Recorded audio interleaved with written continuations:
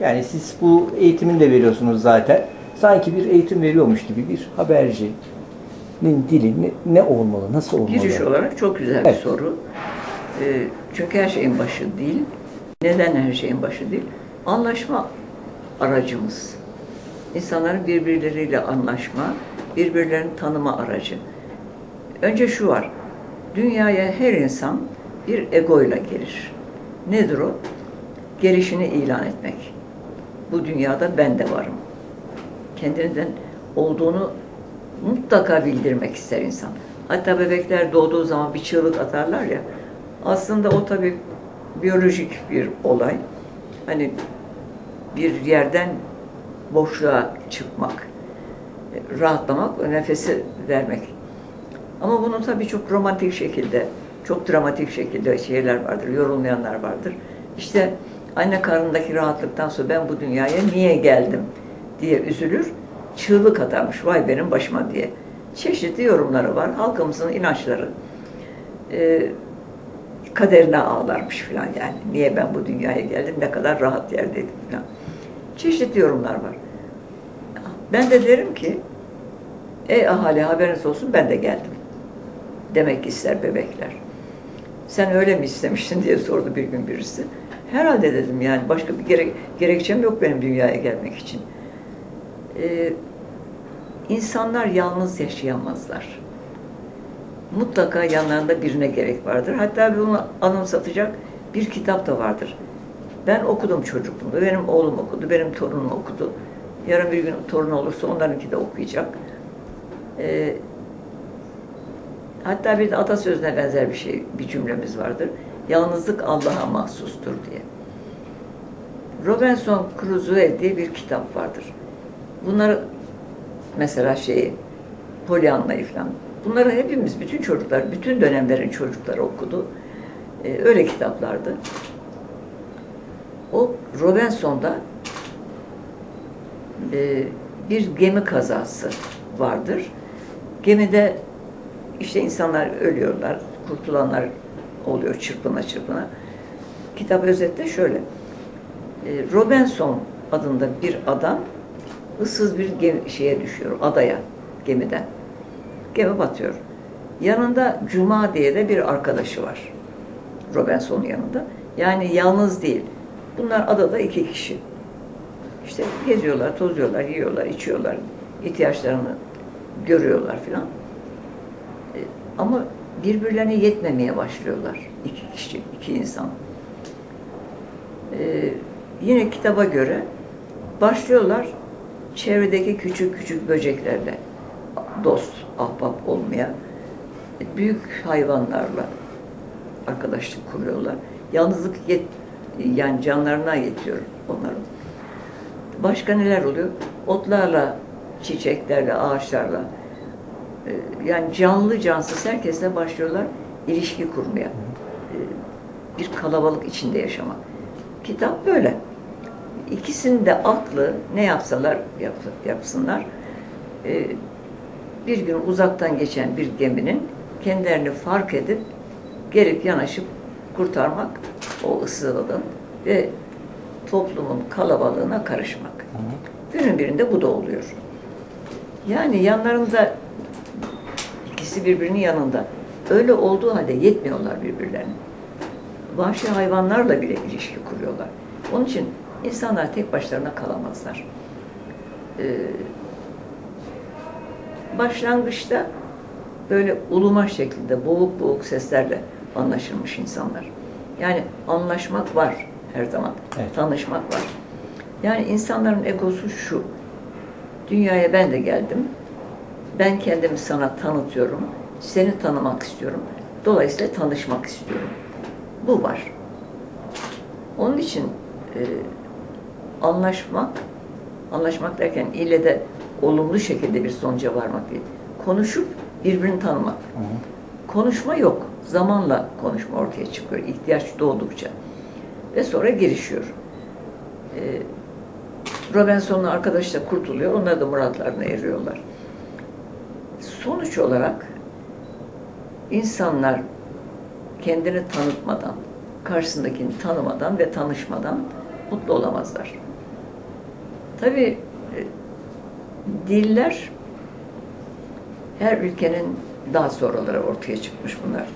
Diller her ülkenin tarihine, coğrafyasına, gelmişine, geçmişine sonuç olarak e, algılama biçimine, dünyayı algılama biçimine, kafasına göre şu şekilde ya da bu şekilde gelişiyor. Ve sonuçta ihtiyacın bu olduğu anlaşılıyor. Yani dil önemli bir ihtiyaçtır. Birbiriyle anlaşma aracıdır. Anlaşmamakla yaşayamaz insan. İlle anlaşacaktır. Dil olmazsa olmazıdır yaşam. Şey bu, olay bu benim için. E tabi sonra geliştirilmiş. Diller geliştirilmiş. E, bazıları geriye gitmiş. Büyük çoğunluğu ileri gitmiş. E, mutlaka mutlaka anlaşmak gerekir. İnsanlar böyle yaratılmıştır. Başka sorunuz? Bu şeyle e, televizyoncuların dilini şu andaki e, özellikle muhabir arkadaşların dilini nasıl buluyorsunuz? Çok kötü buluyorum. Radyonu, televizyonu, gazeteleri. Hı hı. Çünkü dilimiz zaten yok olmak üzere. Aldı başını gidiyor yıldırım hızıyla. Parmağının ucunu oynatıp da buna bir çare bulmak isteyen yok denecek kadar az. Hı. Ha sen niye uğraşıyorsun? Ben insanlığımı yapayım, bana düşeni yapayım diyorum. Tutar tutmaz. Ama bir çaba göstermek istiyorum. Benim elimden gelen budur. Herkes elinden geleni yapmalı. Onun için dilin üzerine bu kadar düşüyorum. Dil bu kadar önemli. Zaman zaman kendime dil manyağı oldum diyorum. Neden? Hiç tanımadığım bir kente gitsem, bir gün sokaklarda falan dolaşırken tuhaf bir şey hissederim. Sanki birisi bu kulağımdan tutar, bir yana çevirir başımı. Yani yukarıya, sağa, sola, aşağıya. Bir bakarım orada bir dil yanlışı. Geliyor gör beni diye gözüme batıyor yanlış. Artık o kadar e, haşır neşir oldum ki dilin doğrusuyla yanlışıyla e, kurtaramıyorum kafamı. Onun için diyorum ki ben dil manyağı oldum artık. E, çocukluğumda annem dilimle çok uğraşmış. Annen dil bilimci miydi diyeceksin. Hayır, ilkokul mezunu. Aydınlık yaratılışlı, görüşlü bir kadındı o kadar. E, bilgisi yok, ilkokul mezunu. Ne öğrenmiş ki? Ama dilin önemini kavramış bir insandı. Benim e, konuşmamla çok ilgilendi annem. Yani olur olmaz bakarım öyle değil böyle olacak. Bir sözcüğü, bir cümleyi değiştirirdi. Biraz büyüdükten sonra ben gülmeye başladım annem bu çabasına. Çünkü bazen yanlışımı düzeltmek isterken doğrumu düzeltip yanlış yaptığı oluyordu. Dediğim gibi dil bilimci falan değil. Onunki böyle doğmadan yani domatik bir şey. Ee, Yoksa bildiği bir kural falan yok, öğreten de yok. Annem kendisi bilmiyor ki bana öğretsin. Anneannem hiç okuma yazma bilmiyor ki annesine bir şey öğretsin. Yani öyle büyüdük biz. Ee, bütün yanlışlarımı annem düzeltir. Yıllar sonra aynı şeyi bana o söyledi. Şurada sen söylemiyorsun ama dedi. Belki de ben senin doğrularını arada bir düzeltip yanlış yapıyordum dedi. Doğru anne dedim yapıyordum. Bizim ailede dil önemlidir, uğraşılır, üzerinde durulur. Çünkü biz hepimiz şeyi öğrendik. Ee, ilgi kurulmadan, bağlantılar kurulmadan, e, arkadaş, ahbap, dost olunmadan yaşamak mümkün değil. Dil çok önemli. Dil e, bir toplumun artık namusu durumuna geldi. Ama biz bu namusu koruyamıyoruz. Çok iyi koruyan ülkeler var. Başta Fransa. Fransa e, dil konusunda benim tanımıma göre öyle ileri e, meraklı değil. Şey ırkçıdır. Ve benim kabullendiğim tek ırkçılık. Dil ırkçılığı. Çünkü biz bırakmışız demokrasi budur filan diye tutturmuşuz. Dil elden gidiyor. Zaten bizim dilimiz başlangıçta Arapça Farsçanın bir parçası. O kadar çok Arapça Farsça sözcük var ki. Tabii yalnızca onlarla bitmiyor. Ayrıca etrafımızdaki böyle dilleri uluslararası nitelik kazanmış başka şeylerin, e, devletlerin dilleri de karışıyor. Denizcilik deyimlerimizin çoğu Yunanca ve İtalyancadır. İtalyancadan alınmıştır. Bir takım Latin kökenli sözler, sözler girmiştir söz, e, konuşmamıza, yazmamıza. E, Atatürk Cumhuriyet'in ilk yıllarında e, bir takım öğretmenler başta olmak üzere bir takım insanları, sanatçıları, kültür adamlarını yurt dışına yollamış. Görgüleri, bilgileri artsın diye. Amaçlanan zaten batıya dönük bir Türkiye. E, Onlar için böyle çok sayıda insanı yurt dışına göndermiş. 6 ay sonra dönüyorlarmış. Dönenler e, Atatürk'e, Cumhuriyet'in ilkelerine sahip çıkmışlar. Yani Türkiye'ye gelip de e, bir takım zütbeler gibi diyeceğim. Kitaplarında böyle Fransızca sözcükler döktürmemişler. O şımarıklık yok. Günümüzde hatta bundan 50 yıl önceden bu yana e, bir merak var. Türkçe konuşurken içine böyle Fransızca, İngilizce neyse yabancı dil, dilden bir takım sözcükler attırarak kendilerine bir statü edin- edindikleri mi sanıyorlar nedir bilmiyorum. E, maskaralık oluyor. E, giderek Osmanlıca dilinden uzaklaştık. Yeni dildeyiz. Yeni alfabelerle yazıyoruz, çiziyoruz. Yanlış okuyanlar var. O sözcükleri bilmeyenler çok. Ya o kadar. Mesela geçen gün diyor ki birisi vakur diyor. Bu Arapça bir sözcük. Vakur. Bizimkiler bunu vakur diye okuyorlar. Bilmiyorlar çünkü yaşları yetmiyor. E, o kadar çok telaffuz bozduğu olan sözcükler var ki anlam karmaşası başlamış. E, bilmedikleri sözcüklerle konuşmaya merak edenler çok komik durumlara düşüyorlar. Örneğin Türkçe'de iki sözcük vardır örnek olarak vereceğim. Birisi iyi saatte olsunlar. Biri de saatler olsun. Şimdi bunların ikisi birbirine yakın yazılış, Evet. Telaffuz olarak, ses olarak. Ama anlamları çok ayrı. Ee, insanlar banyoya girerler. Çıktıktan sonra yüksek kesimlerde, toplumun yüksek kesimlerinde e, böyle eskiye bağlı aileler birbirlerine sıhhatler olsun derler. Sağlıklar olsun, sağlıkla geçir günlerini anlamında. Onun Türkçesi çok daha güzeldir. Halkımız banyodan çıkan birine güle güle kirlendir. Dümdüz, Evet. dupduru. Şimdi bu bir bir dilek, dilekte bulunmak. Bir de şöyle durumlar yaşar insanlar. Oturmuşsun, düşünüyorsun filan veya konuşuyorsun. Bir ara kendine geçtin. Şöyle bir titrer insan. Yer- bir elektrik verilmiş gibi sanki. Ay iyi saatte olsunlar yokladı derler. İyi saatte olsunlar dedikleri cinler periler. Beni şu anda cinler periler yokladı. Onun için bir titredim, ürperdim anlamında. Şimdi Osmanlıca karışık ağırlıklı konuşmaya gençlerimizde büyük bir merak var. Ben karışmıyorum. Hangi ağırlıkta isterlerse öyle konuşsunlar. Öztürkçe ağırlıklı ya da Osmanlıca ağırlıklı. Ama bilerek, ne olduğunu bilerek. Mesela banyodan çıkan birine diyor ki, iyi saatte olsunlar diyor. Hayır, saatler olsun diyecek mi? Bilmiyor ama böyle bir iki, birbirine yakın iki sözcük yakalamış. Aklına gelen da, şey hemen bastırıyor. İyi saatte olsunlar. Hayır, saatte olsunlar diyecek mi? Yani doğrusunu bilerek konuşun Evet. diyorum. Bilmeden konuşmayın komik oluyor. Bir hukuk öğrencisi kursa geldi. Konuşurken diyor ki ihtilal, ihtiraslı suçlar. Ben hukuk okudum, bitirdim. İhtiraslı suç diye bir şey duymadım. İhtiras çok büyük hırs anlamında. Yani sözcüğün hırsı olur mu?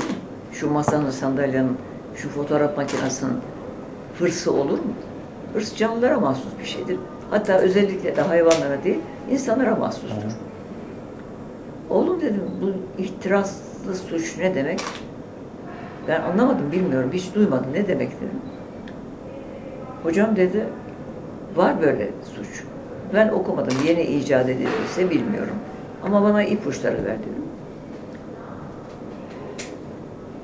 Verdiği ipucunun ortaya döktüğü anlamla hiç ilgisi yok. İhtilaslı suç. R yerine L yazılacak. Sözcük değişiyor. Böyle yüz kızartılan suçlar falan için gene de kullanılmış. İhti, ihtilaslı. E ben de hukukta okudum, bitirdim.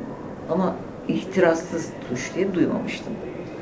Böyle konuşmak insanı komik yapıyor. Dil, bildiğin ağırlıkta konuş. iyi bildiğin ağırlıkta. Ona bakmıyorlar işte ne gelirse kullanmaya bakıyorlar. Ee, dil çok önemlidir. Öyle böyle değil, ihmal edilecek gibi değil. Ben yabancı dile karşı çıkan bir insan değilim. Tam aksine e, bir yabancı dilin 21. yüzyılın gençlerine, çocuklarına yetmeyeceğine inanıyorum. En az iki yardımcı dil olacak. Ee, yoksa Avrupa'dan, özgürlükten, uygarlıktan falan söz edilemez. Onun için e, bildiğiniz ağırlıkta konuşun diyorum. 800 yıl, 12 yüzyıl önce mesela şiirler yazmış halk ozanlarımız var. Onları nasıl anlıyoruz? Bunca yıl sonra. Arapça, Farsça sözcükleri söylemeye kalkıyorlar. Telaffuz edemiyorlar. Ondan sonra hocam dilim dönmüyor diyor. Dilin dönecek. Eğer bu meslekte kalacaksan dilin dönecek. Neler döndürüyorsa dilimizi mi döndüremeyeceğiz? Ha hiç ne bileyim tavşan ağzı olur, şu olur, bu olur. Düzeltemezsin ama bunlara bunlara çaba gösterdiğinde düzeltirsin. Ee, tembellik yapıyorlar. Öğrenmek istemiyorlar ama o dili de kullanmak Evet. istiyorlar. Hepsi bir arada olmaz. Peki ne yapmaları lazım? Yani bir muhabirin, bir gazetecinin, yeni başlayan bir E, spikeri. Günümüzde bir e, bayağı Türk, epeyce Türkçeleştirmiş bir dil var ortada. Hı hı. Biraz onlara baksınlar. Yanlışlara bakacaklarına. Doğru yazılmış kitaplar da var. Sorup soruştursunlar. Onlara baksınlar. Biz nerede öğrendik? Anamızdan böyle doğmadık. Yani çok okuması mı gerekiyor ya da ayna karşısında böyle e, bir şey yapması, nasıl yap, ne yapması lazım? Belki ihtiyaç olabilir. Hı. Her zaman değil. Bazılarının. Okuyacak, öğrenecek, çaba gösterecek. Başka türlü olmaz. Ha, ben zaten çenesi düşük doğmuşum. Babam, annem böyle derdi. Ee, Şey derdi bana. Çenen o kadar düşük ki derdi. Car car car konuşuyorsun.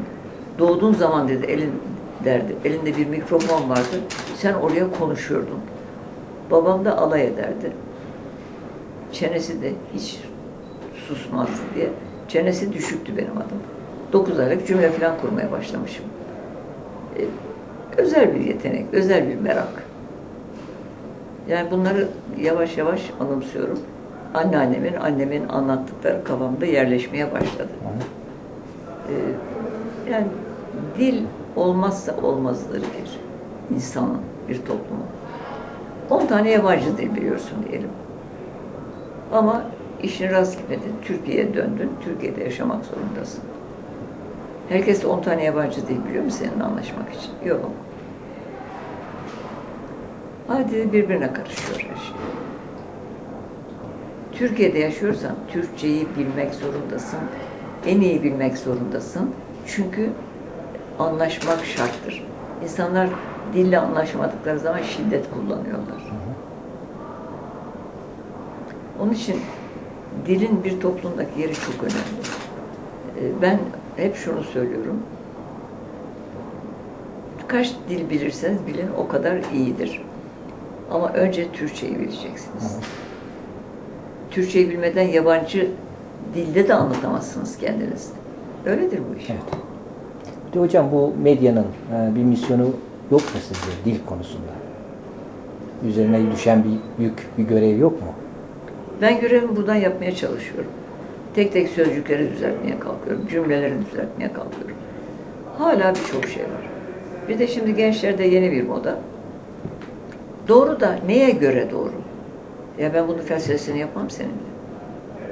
Kurallar konmuş, o kurallara doğru. E, bana göre mesela şey, e, siz makam diyorsunuz, ben makam diyorum. Doğrusu bana göre bu. Ya böyle konuların bana göresi olur mu? Toplumda bilinenler, bu işin uzmanları bir araya gelmişler. Bir takım dil kuralları koymuşlar. O benim hoşuma gitmiyor. Benim de şu dünyada, ailemde neler hoşuma gitmiyor. Hepiniz öyle değil mi? Ama ayrı baş çekiyor musunuz? Ha isyan etmek istersen tabii. Ama durup dururken benim canım böyle istiyor diyor. Makam dersen yanlış olur. Böyle çıkmaza sokuyorlar sorular. Neye göre doğru? Hangi kurala göre doğru? Konmuş kurallar var kardeşim. Öğretiyorlar size okullarda. Onlara göre. Böyle herkes kendi bildiğine kurallar uydurursa konuşmak hiçbir şeye yaramaz. Hiç konuşmayalım daha iyi. Öyle böyle falan diye uluyalım bitirsin. Bir benim e, çıkarttığım bir şey vardı. Meclis Araştırma Komisyonu Türkçe konusunda bir takım önlemlerden bahsediyor. İşte diyor ki mesela tabelalar Türkçe olsun. İşte Türkçe konuşmayanlara, Türkçedeki bazı kelimeleri yanlış telaffuz edenlere işte nota verilsin.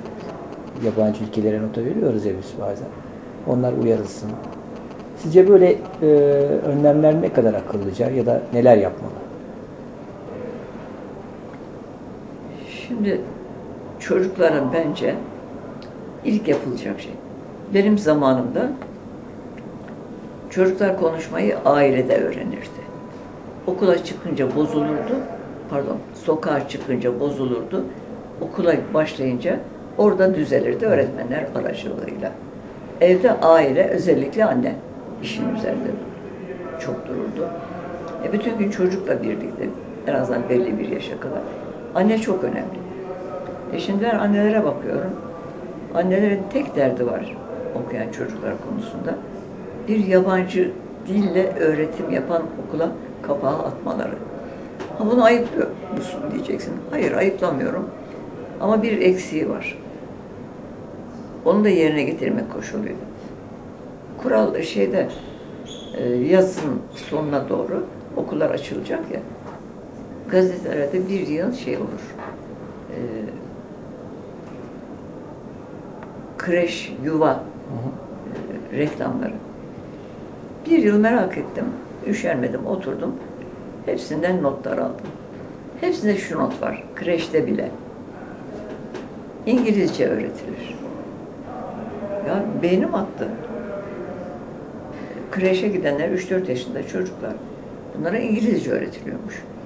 Sanki bir torunum varmış. Ona araştırma yapıyormuşum. Gittim bir yerlere. Hepsi İngilizce öğretilir diyor. Ben böyle hayran hayran İngilizceyle öğretmekte neyi sağlıyorsunuz diyorum. Neyi sağladıklarını, neyi kastettiklerini anlatıyorlar. Böyle bir şey. Ya dedim bir gün, niye 3 yaşına, 4 yaşına çocuklara İngilizce öğretiyorsunuz? Cevap aynı. Efendim, e, çok iyi yetişmeleri gerekiyormuş çocukların. Evet, çok iyi yetişmeleri gerekiyor. E, okul gibi değil, öğrenci arkadaş gibi öğretmeye kalkın. Bütün ülkelerde çocuklara dil bilinci verilir. Sevgisinden önce bilinci. Arkadan bilinç gelir. Şey, e, sevgi gelir. Bu yok. Nasıl öğretiyoruz? Şarkı olarak. Peki Türkçeyi de şarkı olarak öğretin. Çocuk söyleye söyleye zaten kendisi şeysin yani yerleşsin kafasına. Hayır bu yok. İlle de İngilizce öğrenecek. Öğrensin ben karşı değilim. Diyorum günümüzün çocuklarına, gençlerine bir yabancı dil yetmez. En az bir tane daha olacak. Ki dört dörtlük olsun. Böyle bir gariplik var. Bütün annelerin, özellikle annelerin isteği çocuğunu bir özel okula, İstanbul'daki o Galatasaray'dan başta bilmem nereye kadar şakış, bülbül gibi İngilizce şakısın. Tamam ben de istiyorum. Ama doğru düz bir Türkçen de olsun ki en başta sen bu ülkede yaşamayı öğren. Dilini öğren. Böyle bir züppeliğimiz de var. Birdenbire yaba, yabancı dil, dilimize bir tanesi olansa Türkçeyi unutuveriyoruz. Başlangıçta benim e, radyoya başladığım yıllarda bir uygulama vardı. Lisede İngilizce okumuş arkadaşlar. E, baş, onlara baştan üç soru sorulurmuş. E, öyle gönderirlermiş şey. Londra'ya. Londra'ya 6 ay gönderiyormuş yönetim. Hem biraz yayıncılık nedir?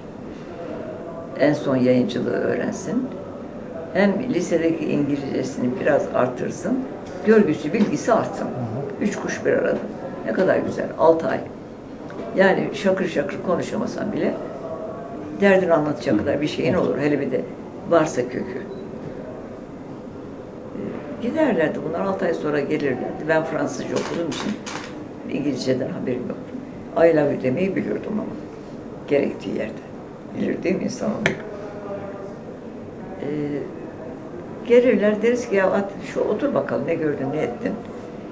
Türkçe'de böyle bir şey vardı. Yediğin içtiğin senin olsun da gördüğün güzelleri anlat. Biz de güzelleri, yakışıklıları anlatırdık cinsimize göre, cinsiyetimize göre. İnanın daha dördüncü cümlede anlatmaya başlar. Ay neydi onun Türkçesi? El böyle poz bu. Neydi onun Türkçesi? 1, 3, 5, 15, 25 geldiler. Hem de gitmemek üzere. Öyle yaptı yine birisi. Neydi onun Türkçesi? Böyle bir vurdum yumruğu. Küt diye masanın üstüne düştü. Mosmor oldu burası. Ya dedim, altı ayda nasıl unuttun sen dilini? Unutulur mu ya altı ayda? Ha çocuklara anne yabancı, yabancıysa anne baba. İkisi de kendi dilini aynı anda öğretmeye bakıyor. Çocuk bir süre sonra ikisini birden öğreniyor. Buna bir diyeceğim yok. Ama gittim. Amerika'da biz üç ay kaldık. Davet üzerine gitmiştik. Çok fazla Türk var. Doktor özellikle. Çok da çocukları var. Amerikalılar evlenmişler. Dört beş çocuk her birinde. Kızın biri altı ay önce getirmiş babası. Anneyle baba ayrılmış. Baba orada bir doktorla evlenmiş. Anne burada başkasıyla. Kızını aldırmış burada okutayım diye. İyi niyetle. Kız gider gitmez Amerika'da kesilmiş. 10 yaşında. Şimdi bana Türkiye'den arkadaşlarını sormak istiyor. İşte sıkıla sıkıla böyle kabuz olmuş gibi kına sıkına şeyi anlatıyor. Türkçe nasıl anlatacağını arıyor. Lallı var dedim. Nedir o dedim, ne demek anlamadım. Aynı tekrarladı durdu. Bir arkadaşıymış, adını anlatmaya çalışıyormuş. Ben de anlamıyorum bir türlü. Yine bir Türk, küçük bir kız, şeyi anlatmak istiyordu. Ben biliyorum kendisiyle konuştuğum için dedi. Ee, Hülya Koçyiğit'in kardeşi var ya Nilüfer Koçyiğit. Sonra gitti bir mafyadan biriyle evlendi. Sıra arkadaşıymış, mahalle arkadaşıymış. Onun halini hatırını soruyormuş. Giden altı ay olmuş. Şimdi öfkem de kabardı mı tutamam kendimi. İndirmek istiyorum bir yumruk ama anası babası orada oturuyor. Nasıl yaparsın? Buradan gitmişim kızımı dövmeye mi gittim? Şöyle yakaladım. Türkçe konuşsana kız dedim. Sarstım böyle. Dili açıldı. ya niye böyle? Onlar geliyor altı ay değil, altı yıl kalıyor. Bir tek kelime kelime öğrenmeden çıkıyor gidiyor. Ona da dangalaklık diyorum. O da ayıp. Şurada e, iki satır konuşmayı öğrenir insan. Öğrenmelidir. Gittiğin yerde işine yarar bir gün. Yani biz hemen kutsal değerlerimizden vazgeçiyoruz. Olmaz böyle şey ya. Nerede kaldı bizim kültürümüz, bilgimiz, geleneklerimiz, göreneklerimiz? Bunlara çok mu düşkünsün? Evet de çok. Niye çok düşkün olmayayım? Sizler düşkün değil misiniz?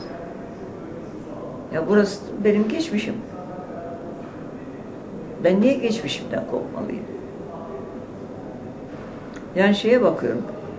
12 Eylül döneminde zaman zaman konuşurduk oğlumla. Öyle bir çember içindeydik ki böyle ev kurşunlandı, bindiğim araba kurşunlandı. Hepinizin başından böyle şeyler geçti. Yani ucuz atlatanlar çok az oldu. Ee, evin etrafında pusular kurdular filan. Ee, oğlumla bazen oturduk. Ya çekip gidelim mi buradan derdik.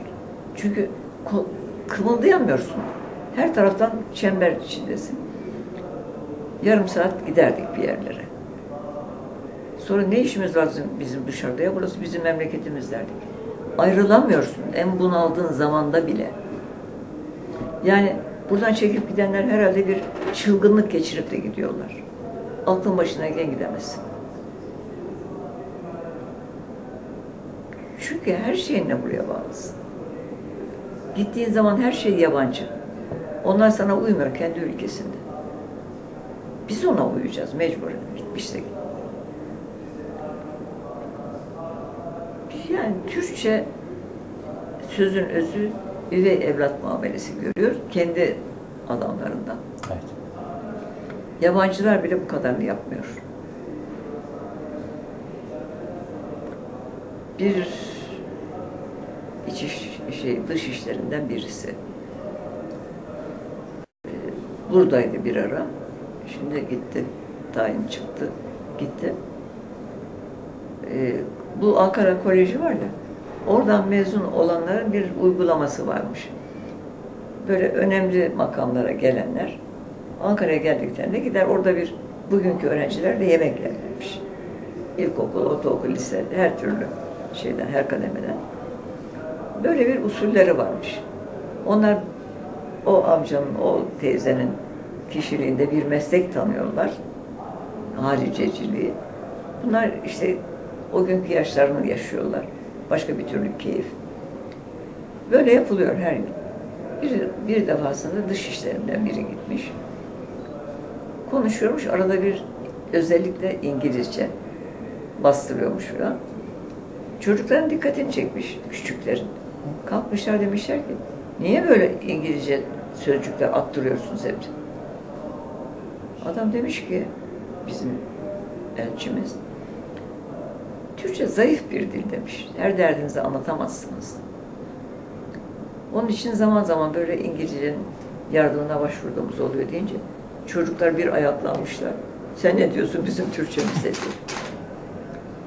Yani bu yaşlarda Türkçe bilinci, sevgisi verilir, öğretilirse biz bunun üstesinden geliriz. Ama her gün yeni sözcükler giriyor. Eskiden bebeklerimize şey derdik bir yere giderken. Hadi kızım, hadi oğlum teyzene baş baş yap. Böyle böyle yaptırırdım. Şimdi teyzene bay bay yap diyorlar. Evet. Böyle olmaz. Bir insan kendi ülkesindeki hiçbir şeyi üvey evlat, üvey ana, üvey baba gibi görmemelidir. Ne olursa olsun senin ülken o. Derler ya atmam, atamam, satmam, satamam. Evladımdır. İşte ülkede öyle bir şey. Bu kadar ihmalle bilmiyorum çok kötü bir sona gideriz. Her şeyimizde olduğu gibi. Hani bir soru cevap vardır ya. Deveye sormuşlar neden boynun eğri diye. Nerem doğru ki demiş. Ben e, bu konuyu böyle bitirmek istiyorum. Neremiz doğru ki? Sağ olun. Ağzınıza sağlık. Çok teşekkür ederiz. Senin Oldu mu? Bitti mi? oldu İş- tabii. İşimize yarayacak. Olmaz mı? Senin şey yapın var mı abi? Jülde abla çok e, yakın tarihimizde çok önemli şeyleri çok yakından yaşadı. 27 Mayıs'tan başlayıp bugüne kadar diyelim. İşte bir 12 Mart, e, 12 Eylül, e, şimdi bugünleri yaşıyoruz. Dil açısından baktığımızda e, bu yaşadıklarımızın, darbelerin dile etkileri artıları, eksileri, birçok şey yapıldı. E, nasıl yorumlayabiliriz? Onlar çok uzun bir konu. Çok uzun. Yani bugün geldiğimiz nokta açısından bakınca gerçekten e, özellikle 12 Eylül döneminde e, dile de Onu e, ciddi müdahale başka bir gün konuşalım. Daha ayrıntılı konuşalım. Çok e, somut e, yaşanmış örnekler de var. Onları da bildiğim için Hı. derin bir konu gerçekten. Ee, ben bunları TRT'de yaşadım biliyorsun, Hı hı. göbeğinde. Hı hı. Bir ara bu yozlaşmanın, bizdeki şu yozlaşmanın başlarında böyle havada darbe lafları uçuşuyordu. Hı hı. E, Ben beş tanesini yaşadığım için Allah korusun diyordum. Yalnız bir gün şaka olsun diye şunu söyledim. Nait'in yanına gittim, genel müdürümüz o zaman. Nait dedim, böyle havada darbe lafları falan dolaşıyor. İnşallah olmaz ama e, böyle bir şey olursa yapacağın iki şey var dedim. Nedir abla dedi. Bu makama en yakın yardımcın olarak beni alacaksın yanına. Ya da bütün ötekileri atacaksın. Sadece ben idare edeceğim. Hatta sen kendi yerini bile bana vereceksin. Abla o neymiş dedi. Ya dedim beş ihtilal yaşadım TRT'de.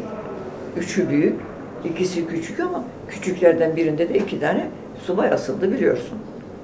Kefeti Gürcan'la Taraday Demir. Hı. Neresi küçük bunların? Ee, abla ben de gazeteci olarak yaşadım dedi. Senin yaşadığın başka, benim yaşadıklarım daha başka dedim. Radyoda yaşadım ben. Başladı gülmeye. Abla dedi, öyle bir şey olmasın, olursa ben zaten kaçarım sana bırakırım dedi. Bizler bir radyoda, bir televizyonda ihtilal nasıl yapılır, nasıl yönetilir, biz bunları öğrendik. Beş tane de öğrenmek için özel bir aptallık gerekir. Öğrendik biz. Ama Allah korusun yani darbelerde bir şey olmuyor. Hiçbir şey olmuyor. Ama ben diyorum ki artık siviller de e, her başları sıkıştığında askerlere buyurun gelin demesinler. Yani bu darbelerin çoğunda, çoğunda değil hepsinde bence sivil davet etti. Ee, 67-68 olayları bütün ülkelerde yaşandı. Hangisinde de bir şey oldu deprem diyorum. Darbe oldu. Hangisinde e, dört tane dar- darbe arka arkaya geldi? Var mı böyle şey? Ee, günahı bu kadar sevmem. Nefret ettiğim bir insandır. Kenan Evren. Ama bir cüm birkaç cümlesi vardı. Bugün hayranlıkla hatırlıyorum, hatırlıyorum hala. Dedi ki, e, bu ülkenin sahipleri bizi artık rahat bırakın dedi adam. Böyle bir şey. Belki kelime kelime bu değil ama anlamı şu. Şimdi bir cumhuriyet kurulmuş vaktiyle. İyi kötü elinden geldiği kadar asker ve siviller kurmuşlar. Ortalığı temizlemişler. Ortaya bir temiz bir kocaman tas koymuşlar. Sonra sivil yönetim başlamış. Yöneticiler, yö- yani ülkeyi yönetmeye kalkanlar, işte demokrasi demişler. Tek partili demokrasi, çok partili. Günün birinde o tası kirletmişler. Bunlar sizlersiniz dedi. Kirletmişler. Tekrar askeri çağırmışlar. Gel bunu temizle diye. Asker yine gelmiş. Aklı erdiği, aklı ettiği, el erdiği kadar düzeltmiş. Temiz bir tas vermiş size. Kısa bir süre 10 yıl arayla bir daha kirletmişsiniz. Yani artık bizi bırakın da dedi. Kendi pisliğinizi kendiniz temizleyin. Kenan Evren söyledi. İşte bir tek de bu cümlesine hayranım. Çünkü benim de inandığım. Ee, Gençler her yerde ayaklandı. Başta Fransa olmak üzere. Fransa'da kaç kişi öldürüldü? Ne oldu? İhtilal mi oldu? Biz de arkası arkasına geldik. E, Bir ülkeyi gençler yönetmez, askerler yönetmez, çocuklar yönetmez. Aklı başında insanlar yönetir. Nerede kaldı o aklı başında sandıklarımız? Ve o günkü iktidarların Türkiye'yi bugün getirdiği noktaya bakın. Solcu bilmem neyi yer yerinden oynadı. Bir yıl insanı es- astılar, kestiler. işkenceler yaptılar, öldürdüler. E, kendileri el elde baş başta tertemiz çıktılar. Efendim Kenan Evren filan yargılanmalıymış. Yani ezerim ben onları aslında. O öfkeme bakarsam. Ama mantığımı çalıştırdığımda peki ülkeyi Kenan Evrenlere mahkum edenler yargılandı mı? Bugün çektiğimiz bela onlarınki değil? Onların yüzünden değil mi? 67 olaylarından başka ülkeler gençlerin nasıl sıyırıp çıkardılar? Nasıl şey başladı? Normal düzen başladı. Her ülkenin gençleri var, her ülkenin gençleri hatta bizden de daha ateşlileri var. Bizler yeni başladık bu işe, yeni öğrendik bir zaman. Niye biz böyle çalkalanıyoruz? Ee, 50'den bu yana, 60 yıldır.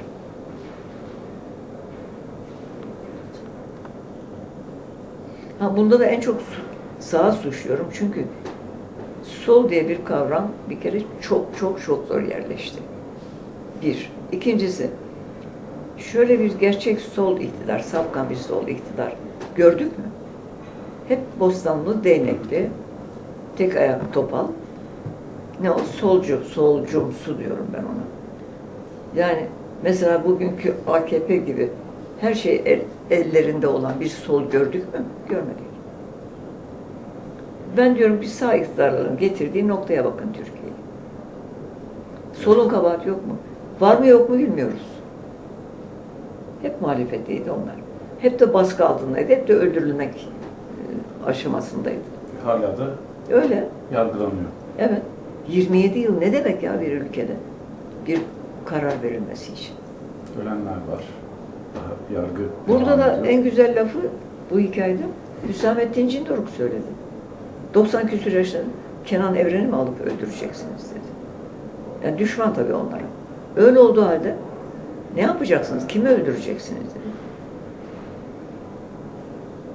Bırakın gitsin bu dava bitmiş dedi, yapılmış olur. Kenan şey e, Demirel geçen gün diyor ki o darbedeki yani 12 Eylül'deki seçimden sonra kaç seçim yapıldı? Bunların seçilenlerin hepsi şimdi iptal mi? Ne yapacaksınız? Neyle başa çıkacağız? Çıkılmaz ki. Ne yapacaksın iptal edip de seçimleri? Milletvekili olmamıştır. Ne olmamıştır? Olmuştur. Hem de defalarca olanlar var. Ben de öyle diyorum. Ülkeyi 27 Mayıs'lara, 12 Mart'lara, 12 Eylül'lere, bugünlere mahkum edenler kimler? Siviller. Onlar yargılanacak mı? O sivil yöneticilerden hesap sorulacak. Onu asla bunu kestiler. Memleketi bu hale getirdiler. Kahramanmaraş'ta, Çorum'da bilmem, yüzlerce insan öldü gitti. Bunların hesabını kim verdi? Asılanlar yine o çocuklar oldu. Öyle değil mi? Ha ülkeyi kökünden kazıyıp bir temizlik yapın. Ben de size yardım edeyim. Onu da bunu da öldürmeye. Asmaya, kesmeye. Zaten amaç e, cezalandırmak anlamında falan da değil belki ama bir geçmiş dönemin muhasebesini yapıp bundan sonra tekrar bu tür şeylerin yaşanmaması olsa gerek. Doğrusu. Askerler şunu yapmışlar, bunu yapmışlar. E, turistik bir geziye çıkmamıştık askerlerle kol kola. Öyle değil mi? Bir olay tabii şey 12 Eylül'de başlamıyor. Bir zincir. e, Türkiye'nin yakın geçmişi hep şey darbelerle anılıyor. Ama e, bugün içinde bulunduğumuz duruma herhalde e, en fazla etken 12 Eylül oldu. Birçok konuda görüyoruz. Belki dil konusu da gene onunla bağlantılı. Tabii E, tabii. 205 buradaki sözcüğü gerileme- yasakladılar ya. Evet, evet, evet. Özellikle o yasaklanan sözcükler. Benim çok somut hatırladığım İdeolojik. mesela, e, şey var. E, anayasanın ve Kenan Evren'in birlikte referandumda e, oylandığı o şey seçim. ya anayasaya da hayır denecekti Kenan Evren'e hayır denmesi için ya da ikisi birden kabul edilecekti. Mavi kelimesi yasaklanmıştı diye hatırlıyorum ben birçok şey. Ne kadar? Evet. Onun gibi 205 kelime değil mi? 205. Öyle maskaralıklar oluyordu ki. Yanıt yok diyor. Çocuklar yanıt diyorlar. 14-15 yaşında bir kız bir, yarışmaya çıktı. Soru sordular. Yanıt yok dedi. Yanıt yasak. Şimdi kızın ağzına iki tokat atıp sen bunları söyleyemezsin mi diyeceğiz. Tutmadı tabii. Öz Türkçe kelimeler Tutmadı. yasaklanmıştı. Ben şeyden sonra, darbeden sonra demokrasiye geçtik ya hani şöyle parantez içinde ünlem. Ben bir köşkte gördüm şeyi. Kenan Evren'i. Selam verdi filan. Verdik. Bir sergi var dolaşıyor. Beni hatırlıyor. Ee, hatta onu çok iyi hatırlıyor bir gün Gülhane Hastanesi'ne gidecekmiş. 12 Eylül'den sonra. Ben de Ankara'da çalışıyorum o zaman. Cumhuriyet'ten ayrılmışım. Müşerref Hanım rahmet dedi ki, Jülide biliyorum Kenan Evren'in olduğu yere gitmek istemiyorsun. Ama bu konu senin konu. Kenan Evren orada bir Atatürk sergisi açılmış. Ee, Senin o haberi yapmanı istiyorum. Kenan Evren o sergiyi gezecekmiş. Şeref Hanım sizi kırmak olmaz ama çok kötü olacak dedim. Hatırım için dedim. Kırılmazdı şey. Yani kıramazdın onu. Öyle bir hali vardı. Kalktım biraz söylenerek de olsa gittim. Şeyde Devlet Resim Re- Heykel Müzesi'ne. Eski halk evinde. Gittim. Daha önce pardon şeye gitmiştik. Cumhuriyet'teydim o zaman. Bu daha sonra. Erbil istihbarat şefi bir anda sadece ikimiz kaldık. Şeyde, Cumhuriyet'te. Çankaya Belediyesi'nin karşısında olduğu dönem. O Bayındır. Abla dedi, Kenan Evren Gülhane'ye gidecek hastaları ziyarete. Suratımı astım. Böyle şeyler söyleme bana dedim. Abla söylemek zorundayım. Ben istihbarat şefiyim. Nereye kalkayım gideyim? Kimse de yok. Bekleyemeyiz adam gidiverecek falan. Erbil'in yedi sülalesini 70 kere kalarlayarak kalktım gittim. Gittik. Yani gazeteci ordusu dolu. Tek hanım da benim o gün. İçeri girdik. Teftiş haber veriliyor tabii. Yani askerlikte böyledir biliriz hepimiz. Haberleri yok gibi davranıyorlar. Fakat yerler böyle anneannemin deyimiyle bal dök yala tertemiz. Yürürken yaptıklarının farkında değiller. Aman ayağınız kaymasın yeni sildik. Bunları kaydediyoruz filan kafamıza. Kenan Evren geldi. Mahiyetiyle birlikte içeri girdi. Şöyle bir hepimize merhaba filan dedi. Oranın koridorları da çok geniş. Ben e, pek göze görünmek istemiyorum. Şöyle bir ölçüyorum. Önde giderken öne düşmüşsem elini uzattığı, uzattığı zaman kapamayacağı bir mesafe. Arkasına kalmışsam ayağını uzattığında tepemeyeceği bir mesafe ayarlamışım. O sınırlarda dolaşıyorum. Öndeyim, yürüyorum böyle. Durun, durun, durun. Bir dakika dedi, bir dakika dedi. Hepimiz durduk. Ben de şöyle döndüm, öndeyim. Pat pat pat böyle filmlerde esrarengiz yürüyüşler olur ya. Derinden gelen sesler falan. Yanıma geldi. Siz şuraya kadar uzattım. Siz osunuz değil mi dedi. Oyum dedim. Ya hele ya dedim. Geldim bir yere bakıyorum bakıyorum. Ben bu hanımefendiyi bir yerden tanıyorum. Ama nereden diyorum. Tanıyorsunuz. Evet dedim. Siz TRT'de çalışıyordunuz değil mi dedi. Evet. TRT'den tanıyorum dedi. Olabilir dedim. Fazla konuşmak istemiyorum. Böyle durgun durgun konuşuyorum. Ya dedi, İkizi mi acaba deyip duruyordum. Hayır ikizi değil, tekim. Ben, başka benden yok dedim. Ben işin gırgırındayım. Dönüşte Erbil'e anlatacağım bunları. Ya dedi, nerelerdesiniz, görünmüyorsunuz dedi. Evdeyim dedim. Ben ayrıldım TRT'den. Dönüp dönüp bana laf atıyor. Bir şey soruyor. Ben de Allah cezasını versin diye böyle aygın baygın bir şeyler söylüyor. Beni hatırladınız mı dedi. İçimden cevap şöyle geldi. Hiç unutmadım ki. Hatırladım dedim. Ama hatırlamadım. Gerçekten hatırlamadım. Yani numara yapıyor değilim. Ee, neredeydi biliyor musunuz dedi. Biliyorum da anlatın dedim. Arkadaşlar da duysunlar. Bilmiyorum aslında. Onun bir huyu vardı böyle bir yere tarif et, bir yere gittiği zaman konuşurken ben buraya işte 10 yıl önce gelmiştim. Şurada bir bina vardı. Ne oldu o? Ya oradaki bina yoksa yıkılmış. Yani laf ola çorba dola. Harp okuluna gelirdiniz siz dedi. Evet dedim. Orada çalışırdınız dedi. E, TRT'den gelirdim oradan giderdim tabii dedim ya.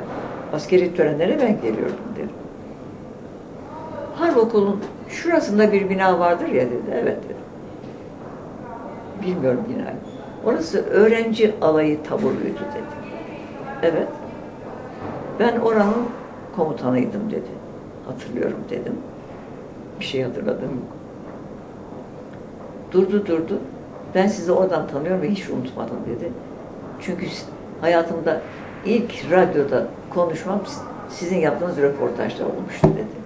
Ay ne kadar önemliymişim ben. Öf. Artık rahatladım. Bitti. Bitirdik. Askerleri fevkalade beğendiğini anlattı. Her yer tertemizmiş, bilmem neymiş falan. Şimdi dedi şeye gideceğiz. Ha, kalktık gittik.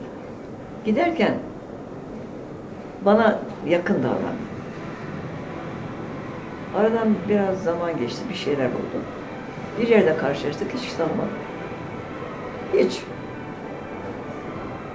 Canı cehennem. Sonra ben Cumhuriyet'ten ayrıldım. Anka'da çalıştım. Demin anlattığım gibi Müşerref Hanım Jülde dedi. İkimiz varız, beni yorma kadar. Ne olur hatırım için. Söylene söylene kalktım gittim. Halk evine. Dolaşıyoruz yine belli mesafede. Atatürk'ün bir Dolmabahçe'de koltukta çekilmiş fotoğrafı vardır. Her yerde vardır o. Adamın elinde bir sigara böyle Atatürk'ün eli şöyle. Çok güzel bir fotoğraf koltukta. Şuradan sigara görünüyor. Çok beğendiğim bir şeydir. Ay falan dedim ne kadar güzel bir fotoğraf.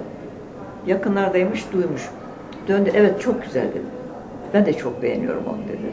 Beni tanımadı. Ben de e, çok beğeniyorum dedi. Bir e, şey de Ziya Ülhak da çok beğenmişti. Bir kopyasını istedi. Sizin biraderiniz Ziya Ülhak dedim. Evet dedi. E, yaptırdım bir kopyasını. Yalnız ayıp olmasın diye de bu sigarayı yok ettirdim dedi. Lafa bakıyor musun? Ayıp olmasın diye sigarayı buradan adamın eli şöyle kalmış şeyde. Demek ki kopyasında. Dolaşıyoruz. Büyük büyük laflar ediyor bilmem ne. Bir yere geldik Atatürk golf pantolonlu, kasketli şapkası. E şimdi ben ne diyeyim yani dedi. Golf pantolon giyiyorum, Atatürk'ü taklit ediyor diyorlar. Ama Ata, yok dedim yani Atatürk'ün üzerinde var bir tek. Şu anda da böyle bir moda yok dedim. Yok canım dedi, ben de giyerim böyle şey. Giyersiniz de ilk giyen Atatürk olduğu için demek ki onunla bağdaştırıyorlar. Bir bastonla dolaşıyorum, Atatürk'ü tak. Bilmem sergiye gidiyorum, Atatürk'ü tak. Ee, paşam büyük adam olmak kolay iş değildir. Gezdik, dolaştık, bitirdik. Herkes işin gırgırında. Müzenin müdürü davet etti yukarıya. Bir kat yukarıya çıkıyor. Yukarıda hala öyle mi bilmiyorum. Böyle bir şey ya buradan aşağısı görünüyor açık. Şöyle incecik şu ende filan bir balkon çevriliyor burayı böyle. Bunu içeri aldılar çay ikram etmeye.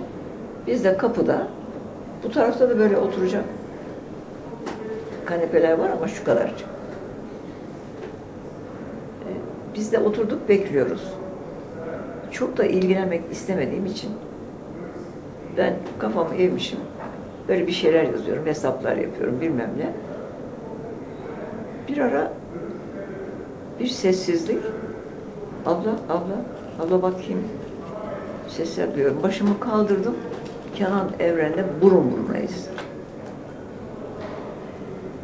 Aa haber yazmaya çalışıyordum da dedim. Kusura bakmayın. Hanımefendi dedim. Gördük, seslendik, yüz vermediniz. İki üç dakikadır ben size sesleniyorum dedim. Yüz vermediniz. Yok yüz vermemek değil de ben haberi tasarlıyordum. Dalmışım demek ki dedim. Kalktım.